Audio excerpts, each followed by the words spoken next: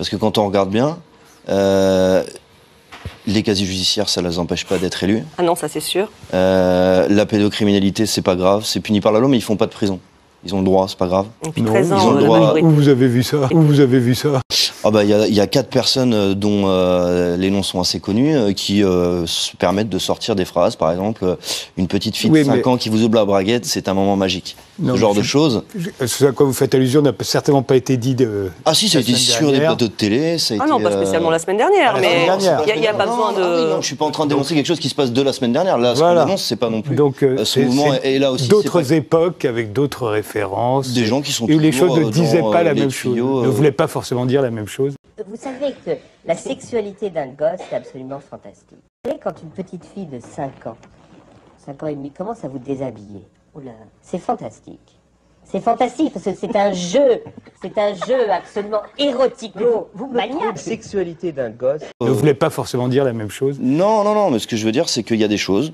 Après, on peut parler de plein d'autres sujets. Euh, On peut dire, par exemple, euh, un jeune homme de 26 ans euh, arrive à, à avoir des badges d'accès au niveau à, à l'Élysée, euh, se fait euh, euh, voler un coffre-fort.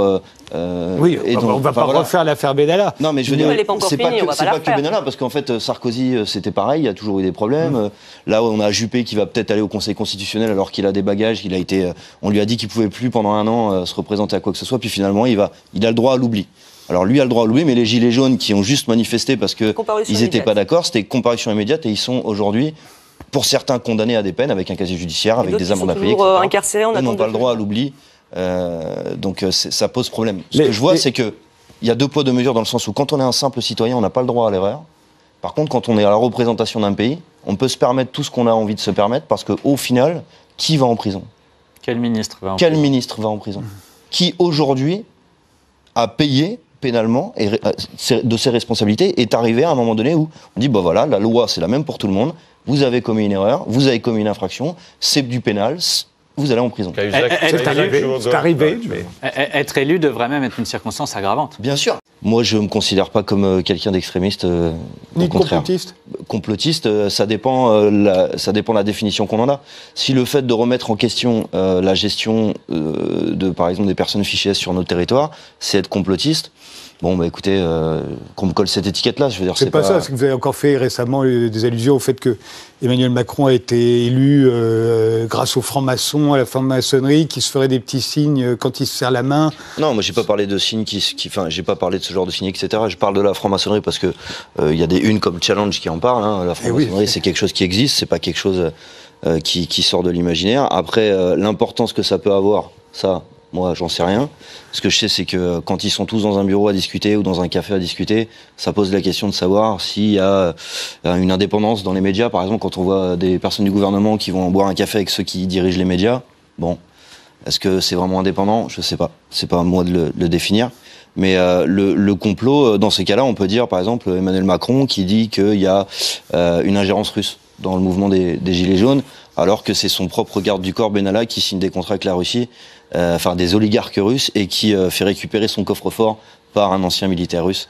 Euh, bon, le complot, je pense pas que ce soit moi qui le fasse. Quoi. Oui, voilà, on en a une nouvelle définition du complot. C'est à partir du moment où on se pose la question et qu'on remet en doute, on devient, on devient complotiste. Donc, euh, bah, dans ce cas-là, moi aussi, j'assume d'être euh, d'être complotiste et je pense qu'on on l'assume tous. Et je remets en oui, question, on, on ne on ne prend pas tout euh, comme, comme argent comptant et euh, oui, on se pose des questions.